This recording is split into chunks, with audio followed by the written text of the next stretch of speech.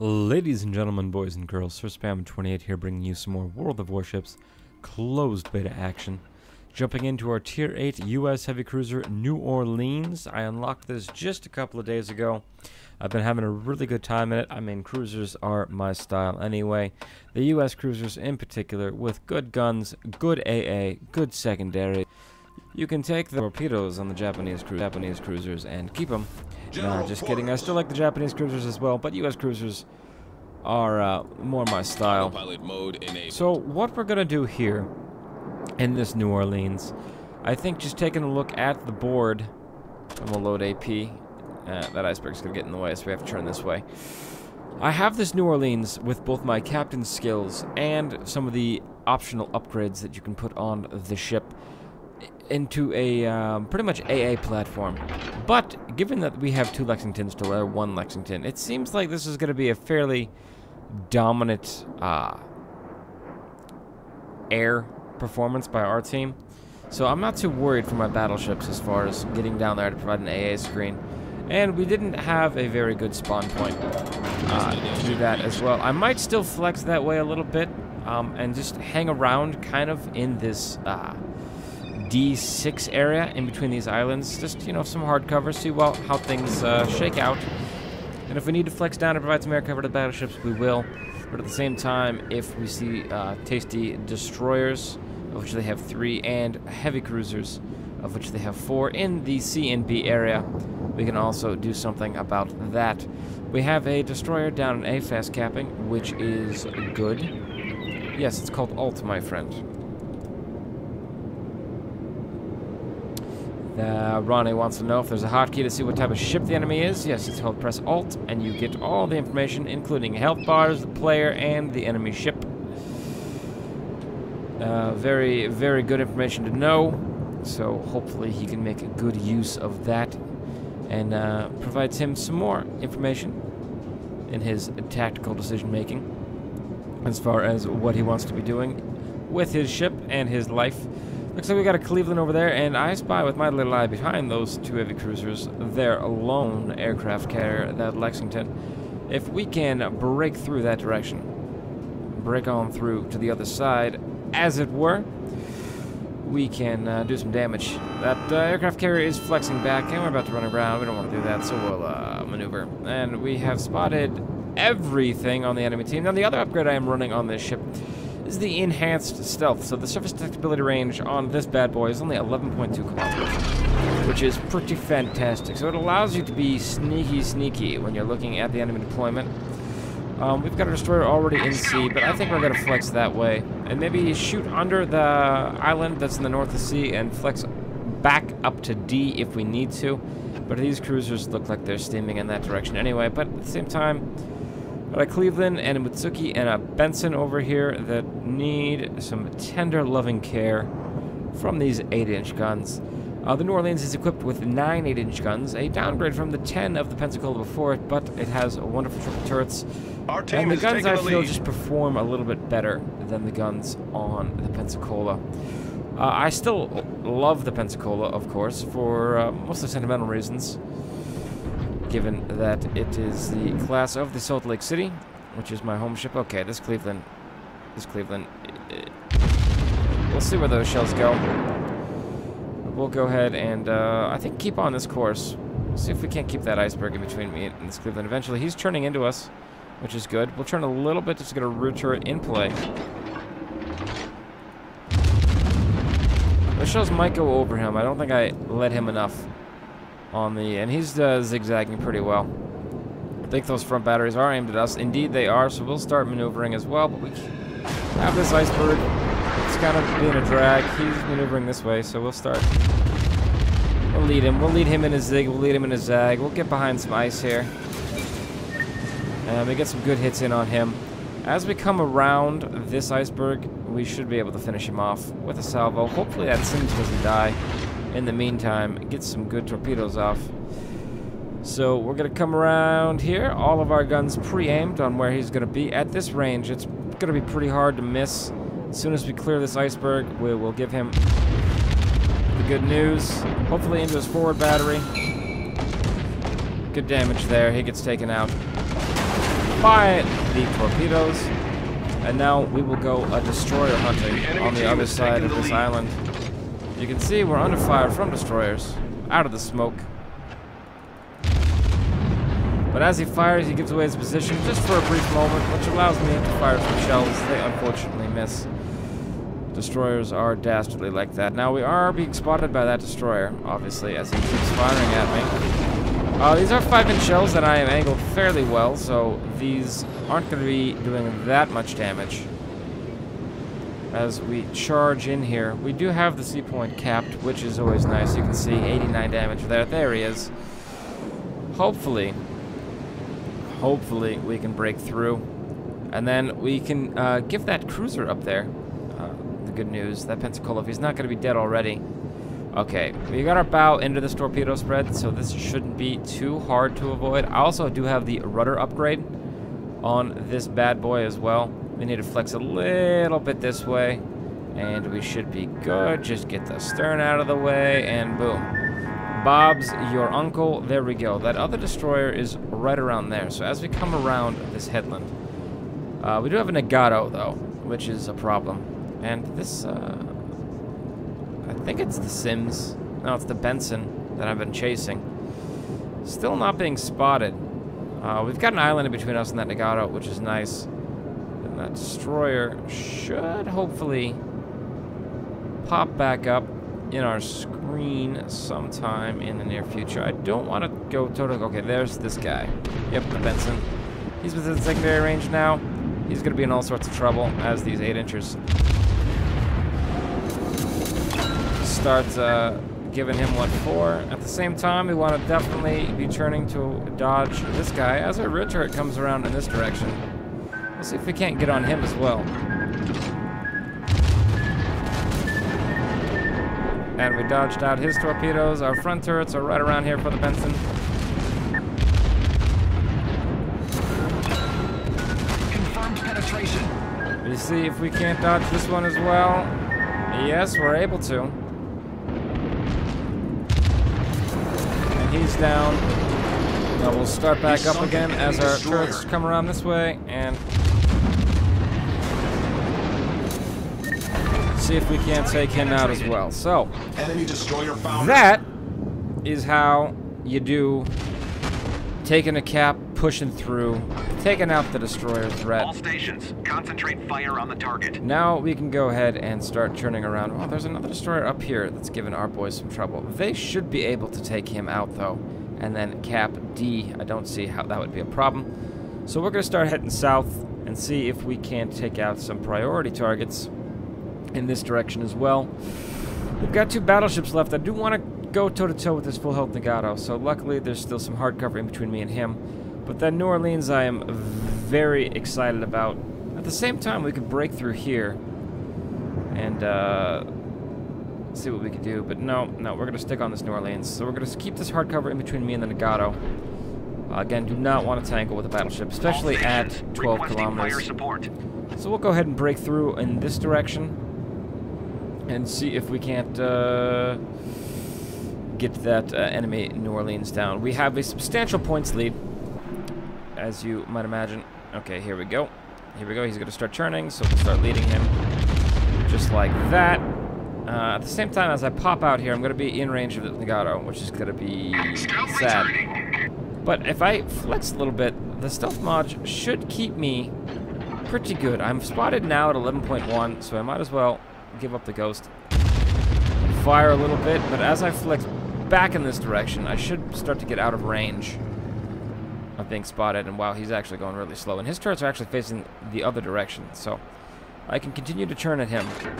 Uh, continue to fire at him.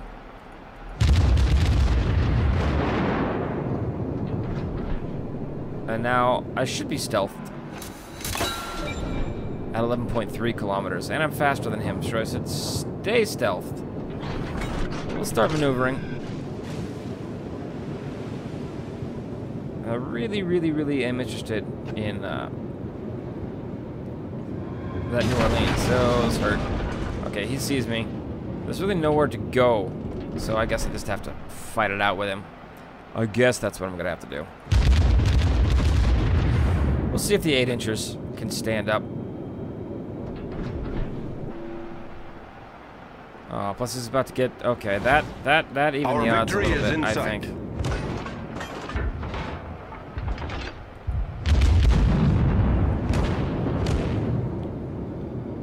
Still got the points lead. I'm gonna flex a little bit to starboard here. Uh, these rear or these front turrets really, really, really point back far, so you don't have to be.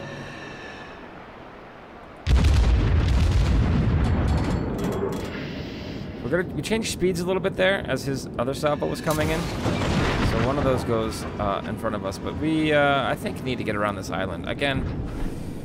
Uh, cruiser versus battleship. It's a hard, it's a hard life. Luckily, our aircraft carrier is kind of keeping us in this fight.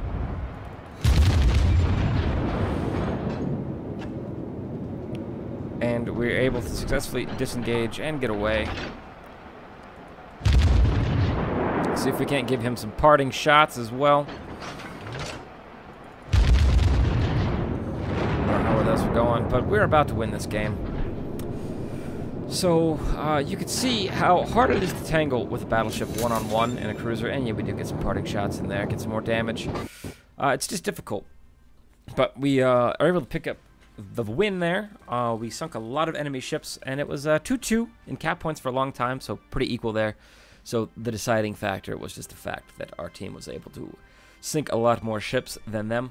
You can see here we got uh, 244,000 credits, almost 4,000 XP. Now this, I believe, is the first one of the day and is doubled. We can check that a little bit later, but we'll see what happens with the base XP as we go in.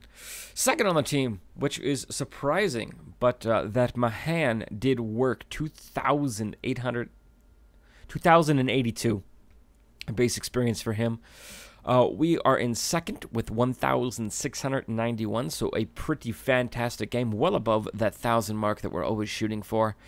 The Pensacola underneath us with 1,657, so he also had a great game. And then the vast majority of our team above that 1,000 mark, which is what you'd like to see. That's the gold standard, I think, in both World of Tanks and in this ship, World of Warships for a good game. You're trying to get a thousand base experience. And we had a couple stragglers down here, mostly the battleships, uh, and then one Cleveland, which is surprising. I've been noticing that a lot. I don't know if it's just this morning and I'm playing early and there's a lot of people. Uh, battleships have not been performing well this morning. Um, I've you know seen battleships do do well in other games, um, but the matches that I've been playing this morning, no, they've been kind of. Uh, they've been making unsound decisions that lead to them having minimal impacts in the game. I mean, these two uh, were pretty close to the 1,000 mark. You got this guy at 500. Uh, this guy beat it with 1,300. So, I mean, not too bad. Um, but I've been consistently seeing them come at the bottom of the list, um, which is sad. Because battleships are big and bold and beautiful. And they're lovely people, too. And uh, you can do well. You can do very well on them. Uh, you just, they, I think, are the ships that honestly, given how slow their turrets turn, given the speed at which they go. They require the most tactical foresight, and that's something that not a lot of people have at this stage in the game. And that's why I keep making these videos to hopefully show off some uh, keen decision making, um, both before, during, and then a reflection period after the match. So if we go into the detailed report, we can see we got fired 135 shells, only 35 or 37 hits. Um, so not the greatest accuracy, but hey, we were mostly shooting at destroyers, which are very slippery beasts indeed. And we had a couple of uh, kind of mid-range engagements on the uh, ooh, the uh, cruisers, and then a mid-range to starting to get long-range engagement on a Nagato as we were both maneuvering. So, but mostly most of those shots were aimed at destroyers, um, and and some cruisers. And the the uh, New Orleans that we were firing at was very long-range indeed. So 27 penetrations, 34,000 damage. Not the biggest damage numbers, but you can see that our strategy in that game was to go in and contest B, and we indeed were able to not only cap it, but then push through and uh, really clear it of enemies, um, mostly being A, that Cleveland beforehand, and then B, those two destroyers that thought they were being clever and sneaky behind their smoke, but we said no. We're going to push right through. We're going to dodge all of your torpedoes several times and take both of you out with our main and secondary batteries. Secondaries got in the fight 1,844 damage for them. We only shot down one scout plane. Like I said at the beginning of the game, this ship is set up with its modules for um, strong AA fire, but we had the skies dominated just with our two aircraft carriers to their one. So we didn't need to perform that role this game, and we were much better suited to actually getting in there and using the other thing that this ship has in spades, the 8-inch guns, to clear out a cap point, secure it for our team, and help provide beautiful points towards the victory. Damage received, we got hit 14 times with the AP for 7,100 damage, and 3 times with the HE for 9,000 9,967 damage. So not too bad on that front. We still ended the match with most of our health. Again, credits and experience. You can see um, this was indeed 1.5 for the first win of the day. So base experience was um, was uh, the 1,691, and then we get premium running, and then we 1.5 it for the first one of the day, and we end up with the 3,804 experience uh, total, which is a fantastic number, and that really helps out. You know, if the ship wasn't already fully researched to where I wanted it to be, uh, it really helps out with the module research. Um, if this was a premium ship, or if it was, uh, you know, uh, if it had been, I, what's the word, when you research everything on it and research the ship above it, and it kind of essentially becomes a premium ship in that all of its experience goes from the free experience pool. Can also help out general research elsewhere. Also, this number translates to the amount of experience points that the commander is getting, so that means that uh, he's going to be able to get some more commander skills shortly. Anyway, I hope you enjoyed that match. Again, just a tactical recap. We saw at the beginning of the game that we did not need to perform an anti-aircraft screen for our battleships, being that we had the skies dominated just with the carrier dis uh, difference between the two teams. Um, given our spawn point and given what we know about the enemy spawn points on this map, being mostly that destroyers and cruisers spawn on the north and battleships spawn on the south, we decided to push kind of straight through um, and really look to contest the B and C area.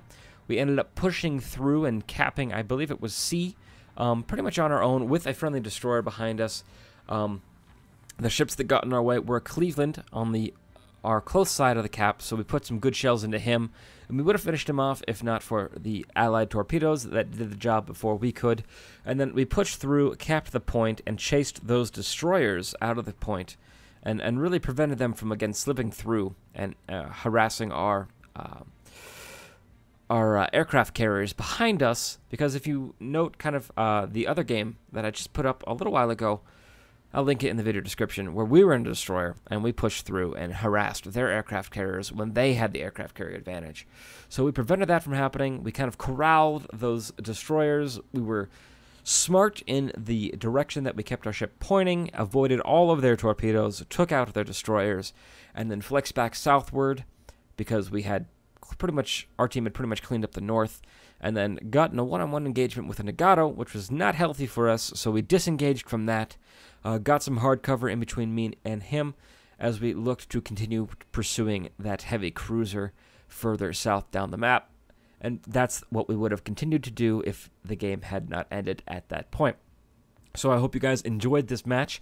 Please uh, leave a comment below telling me what you think about it, what you think about the New Orleans heavy cruisers in general, uh, the strategy and tax- tactics that I employed, what uh, you would have done different given what you saw on the minimap or as far as deployments goes.